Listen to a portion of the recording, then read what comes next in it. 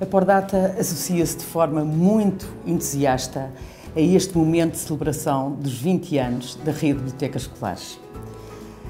A Rede de Bibliotecas Escolares foi, desde o primeiro momento da Pordata, uma sua grande aliada. Fui, aliás, recuperar o primeiro contacto que a Pordata recebeu da RBE.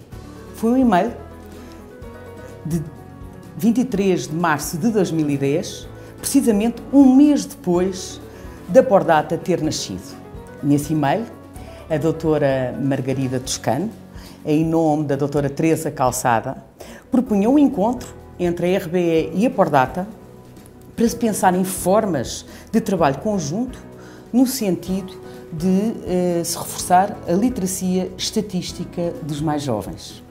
Desde então, muitas iniciativas com a RBE têm acontecido, como a formação por data nas escolas, enquanto ferramenta de suporte às aprendizagens, passando pelos concursos nacionais RBE por data, eh, nas escolas com ensino secundário, convidando eh, à realização de trabalhos sobre diversas facetas da sociedade portuguesa ou ainda a partilha de dados estatísticos, sendo a rede de bibliotecas escolares uma das fontes de dados da Pordata. Diz-se que H.G. Wells terá afirmado no início do século XIX que um dia o pensamento estatístico será tão necessário para ser um cidadão capaz como o saber ler e escrever. Hoje, em pleno século XXI, não temos dúvidas que esse dia chegou.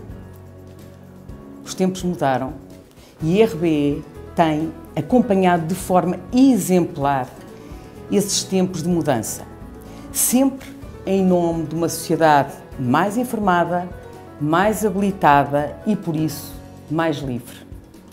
Essa é também a razão do trabalho da Pordata e é por isso que acredito que a parceria entre a RBE e a Pordata pode ser um exemplo excelente de uma boa história com um imenso futuro.